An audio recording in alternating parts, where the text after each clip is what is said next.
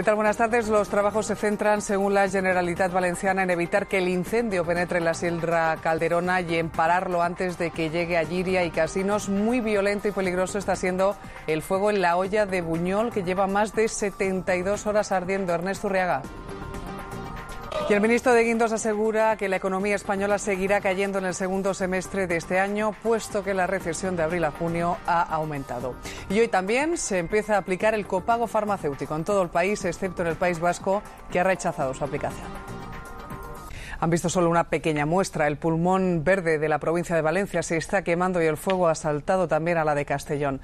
Brigadas forestales de Cataluña, Madrid o Castilla-La Mancha se han sumado a la lucha contra ese fuego, siguiendo el incendio que comenzó el jueves en. Los satélites están captando desde el jueves imágenes muy nítidas de las enormes nubes de humo y de cómo van evolucionando y el viento está siendo determinante, parecen estos. Gracias, Albert. Y desastre ecológico debido al abandono de los montes, según ecologistas en acción, casas arrasadas y también inmensos daños materiales y gran conmoción en la comunidad valenciana y en la capital, donde no deja de llegar ceniza. Bueno, esa era la situación eh, que conocíamos desde Valencia, pero hace menos de dos horas, lo acabamos de saber, se ha declarado también un incendio, en este caso en Albacete, en la presa de San Diego, muy cerca del río Mundo. Parece ser que el fuego está avanzando rápidamente y la delegación del Gobierno ya ha dicho que es un incendio grande y con riesgo porque puede afectar, ha dicho, a la Sierra de los Donceles. Así que cuando tengamos más datos se lo iremos ofreciendo a lo largo de este telediario. Más cosas. Hoy entra en vigor el nuevo copago farmacéutico en función de la renta. La medida arranca con diferencias entre comunidades autónomas. En el País Vasco no se va a aplicar y en Cataluña se aplaza el cobro porque el sistema informático no estará a punto hasta el mes de octubre. En Andalucía y Galicia no permitirán que los pensionistas adelanten dinero al llegar al límite mensual. Y en otras como Madrid, Murcia o Canarias, hoy los farmacéuticos han tenido algunas dudas. En las farmacias del País Vasco, los clientes apenas notarán diferencia con lo que pagaban días atrás. Un decreto del Gobierno autonómico mantiene casi las mismas condiciones que había con el copago antiguo. A partir de hoy suben los precios de la luz, el gas natural y el butano. En el caso de la electricidad, la tarifa de último recurso, que se aplica a 20 millones de consumidores, se encarece casi.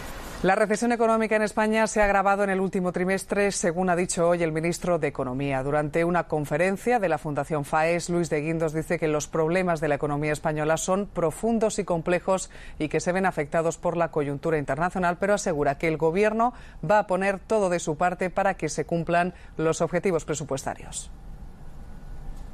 El Partido Socialista cree que es fundamental recuperar la confianza para que la economía española vuelva a crecer. En la clausura del Congreso del PSOE Canario, Alfredo Pérez Rubalcaba ha criticado el copago sanitario y ha asegurado que con el gobierno de Rajoy están aumentando las desigualdades sociales.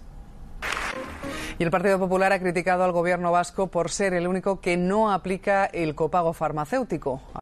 Mañana el ministro de Industria se reunirá con el presidente del Principado para analizar la situación de la minería tras los recortes en las ayudas al carbón.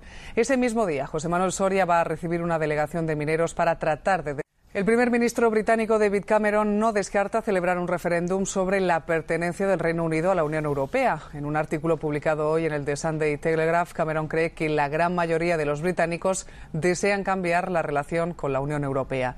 Desde hoy, 1 de julio, en México acaban de abrir las urnas y 79 millones y medio de ciudadanos están llamados a votar. Nuestro corresponsal Javier Gutiérrez ha seguido la larga campaña presidencial, pero Javier, hoy los mexicanos y de Siria nos llegan imágenes muy duras de una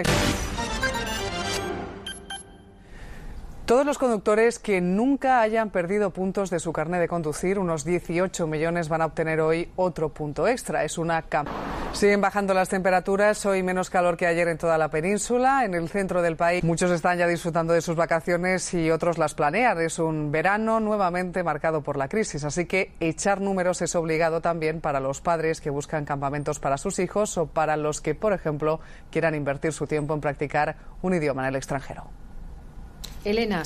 Y este domingo 1 de julio han comenzado las rebajas de forma oficial en seis comunidades autónomas, Andalucía, Asturias, Castilla-La Mancha, Cataluña, Extremadura y también Galicia, y lo hacen con descuentos de hasta el 70% con los que el sector del comercio espera animar las ventas. Se prevé que este... la fiesta del orgullo gay en Madrid ha durado hasta bien entrada la madrugada.